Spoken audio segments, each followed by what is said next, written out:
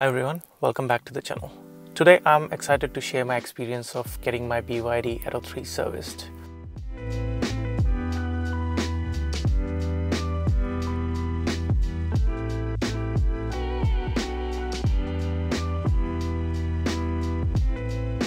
Now, as you might be aware that unlike Tesla, although it's an electric car, you still have to get it serviced every 20,000 kilometers or every year.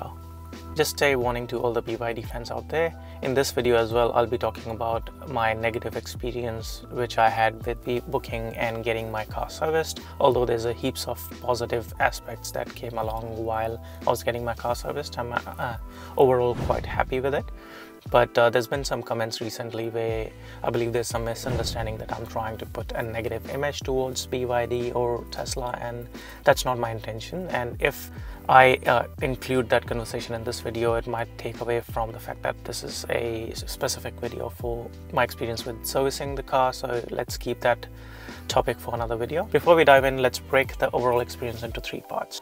Booking the service, getting the car serviced or attending the service, and other features or other experiences. Now let's kick in with the, the booking of service part.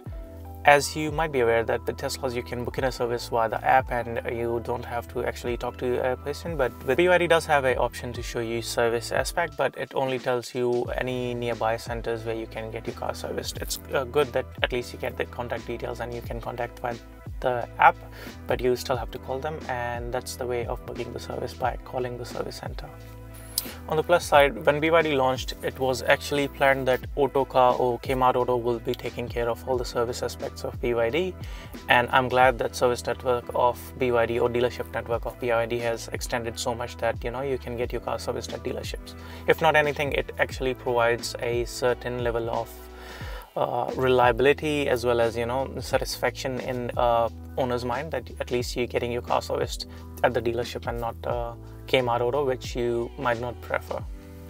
However, booking the car service was not such a smooth ride because when I tried to call the closest service center, which was in North Lakes, uh, Brisbane, we uh, tried to call them uh, at least three days before we can actually connect to a person, and that too, we were not able to connect to the dealership which I wanted to get my car serviced. What happens is like if you call the service line and your call doesn't get answered, it transfers to a national hub where I believe it's a great idea. Like at least you get uh, your call answered. So he had to send an email to the local dealership with my details for a callback, and that didn't happen for another two days. So me trying to book in a service took four days. Although I understand I could have gone to the dealership, but that would have taken 15 or 20 minutes each side, and that's like an hour of task which could have been done via the app or the phone. Uh, but uh, after getting the car serviced, the overall experience was good of booking. They were sending me regular notification and they did confirm by a message that the service booked. Uh, let's talk about the attending the service part of the experience. Uh, the service center that I visited is called Tok Honda and it's run by Honda and uh, I believe they've just added BYD as one of their brands which they are selling from the dealership. So the service team was quite uh, I think, experience in that aspect of getting the car service. So I didn't had any sort of negative experience there. It was all flawless and uh, great, and the communication, along with the details of what uh, I wanted to be done to my car, was conveyed uh, really well, and I'm quite happy with it. Unlike my experience with the BYD rep at uh, Fortitude Valley, while I was trying to get a test drive, and he drove the car for half of the test drive. I don't know what he was trying to do, but uh, talking about missing a point because if you are going for a test drive you want to drive the car not be a passenger and see how the car drives and feels while you are sitting in the passenger seat.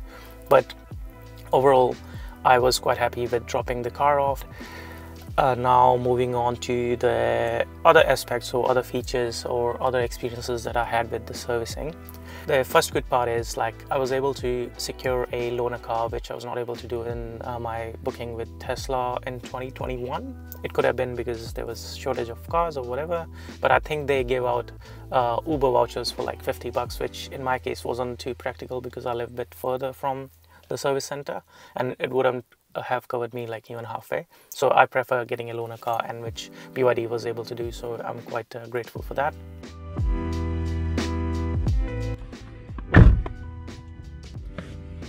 we just picked it up yeah so pickup was great as well like it nothing to complain it was quick they were quite orderly with it and speaking of that I actually had a another issue with my car that the RFID card that it comes with. Stopped working but it was not such a big deal because we we don't actually have to use it to uh, unlock the car because I'm used to getting the key out and you know using it.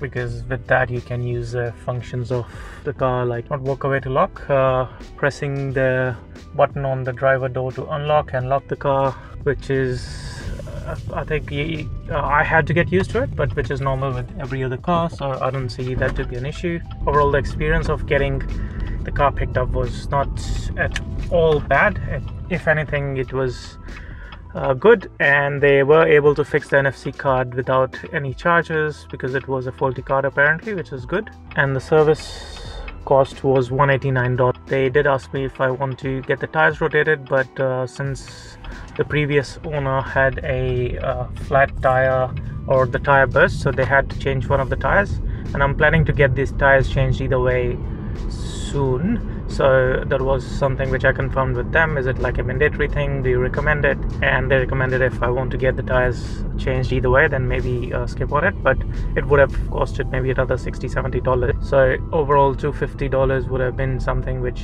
250 256 I think would have been something which I would have paid uh, if I were to get the tires rotated, which is not bad for a tire rotation and balancing, if you ask me.